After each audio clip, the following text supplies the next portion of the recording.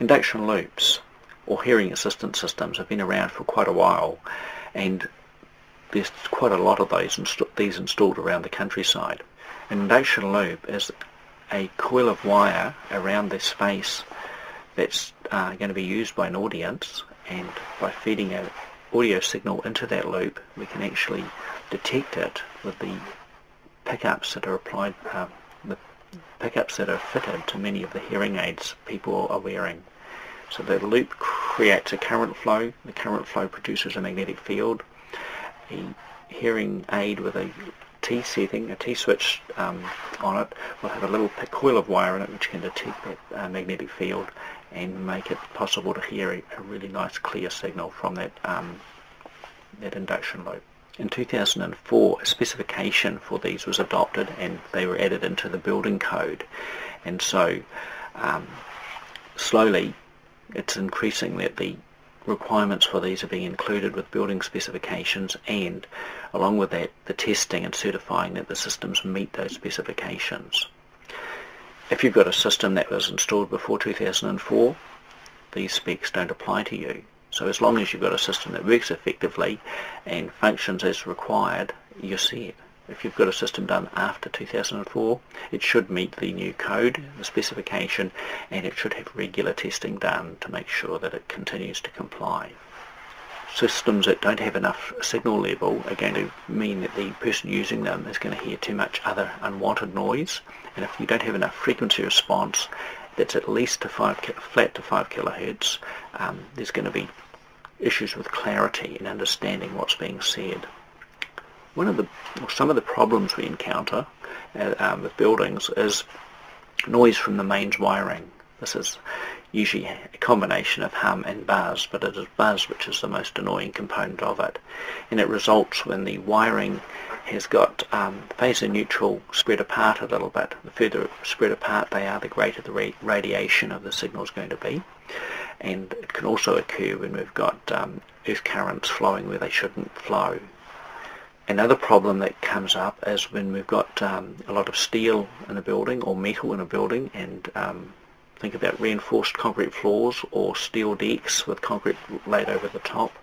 This acts like a short on the loop and this causes a huge loss of signal. It absorbs a lot of the energy out of the loop but it particularly absorbs the high frequencies so we get low level um, within the loop area particularly as you move towards the center of the loop further away from the wiring and you get significant loss of the high frequencies. To solve that problem we need to make the loop width narrower and it would come down to typically 3 meters in bad cases or severe cases 2 meters um, loop width and that's going to bring the level up and make it more even across the loop and at the same time we're going to have to apply a bit of high frequency boost to correct for the high frequency loss which is greatest, where the, the losses are greatest. The problem is that most rooms are going to be wider than your 2 or 3 meter loop area and so we're going to have to put multiple loops in a room to get the coverage we need of the floor and of the audience areas.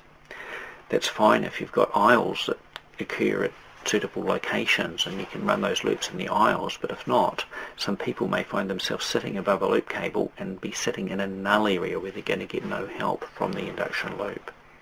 To solve that a second loop can be laid which is offset from the primary loops and um, this the secondary loop needs to be driven from a, a, phase shifter so that its signal is 90 degrees phase shifted re relative to the primary loop. The two loops will add together, they won't cancel and they have very little interaction with each other, but you get even coverage across the room with no holes, no dead spots, no nulls happening. So it's a great solution. Problem is it's going to cost more. There's more equipment, there's more cable, there's this phase shifter added to the system but it is an effective system for where you've got movable seating and a lot of rooms, a lot of churches, a lot of centres. The seating can be rearranged depending on the way the room's going to be used. At the other end of the induction loop system, we've got to have an input that's going to be make it effective. If there's a sound system in the room, we use the, the microphones that are being used for the sound system to drive the loop and get a good clear signal into the hearing aid loop. If we place a microphone at a great distance from the person speaking, then we may as well forget the loop uh, as the person's own hearing aids are going to do the job as effectively as that distant microphone would do it. So good clear sound from up close to the sound source is a vital requirement to make a loop system work effectively. And increasingly, um, hearing aid loops are being installed in counters and ticket booths and bank tellers and, and, information desks and things like that.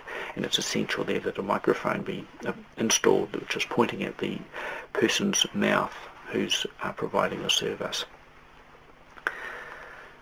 If we had to put a loop into a existing building, stage one is to do a, a measurement of the background noise, make sure that the room is suitable for an induction loop, and then lay a a test loop of a spec specific size in the area to be um, tested and then do measurements of the applied current, applied voltage and magnetic strength that that loop produces. From that we can design an effective loop to meet the standard to cover the room and to work effectively.